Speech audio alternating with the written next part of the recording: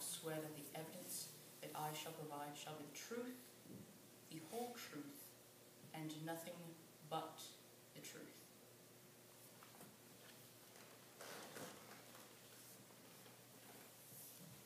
Did I expect anyone to mimic the events that took place in Psycho? Well, the thought was in my mind whenever I chose Psycho, but I never could have imagined someone to do such violence. Do I condone what he did? Not at all. But it truly takes moxie to killed so many people dressed as your dead man. Am I affiliated?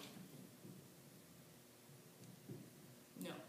But the true question would do I wish I was affiliated? Would I myself kill my mother? Well, the thought has crossed my mind, but I would never. To quote my movie Psycho, a boy's best friend is his mother.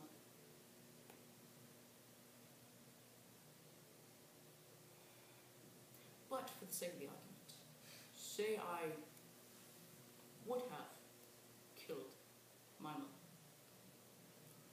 I wouldn't be so sloppy as to keep the body and treat it as if it were alive. But have we all wanted to cause some form of harm